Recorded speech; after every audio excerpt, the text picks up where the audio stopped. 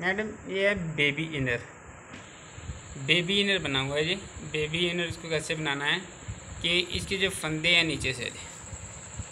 नीचे से फंदे लेने हैं, हमने सौ फंदा लेना है।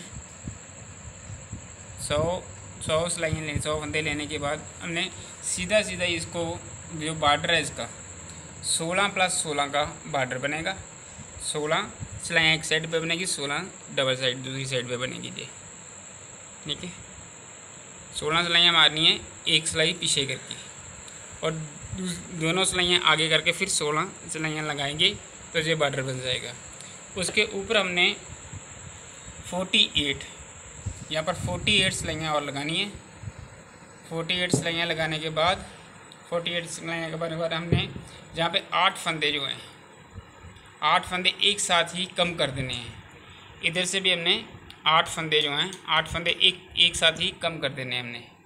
एक साथ आठ फंदे कम करने के साथ ही हमने जो, जे पच्चीस नंबर जो नीडल होगी, पच्चीस नंबर जो नीडल होगी मशीन की पच्चीस नंबर नीडल एक पीछे कर देनी है।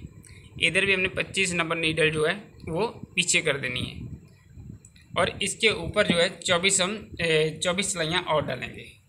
टोटल सिलाइयाँ जो है हमारी हो जाएगी अस्सी सिलाइयाँ। मैं आपको इसकी कैलकुलेशन बता देता हूँ। ये देखिए।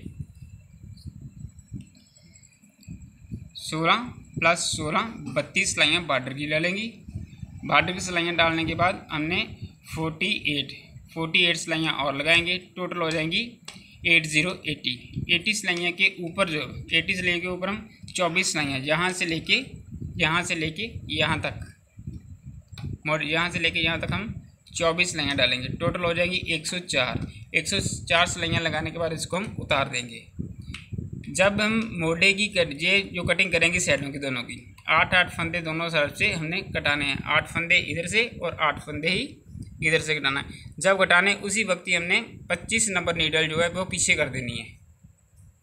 ये पच्चीस नंबर नीडल जो है, वो हमने पीछे कर देनी है। तो ये हमारा इनर जो है, वो तैयार हो गया एक साइज़ जो छोटा साइज़ सबसे छोटा साइज़ है। Okay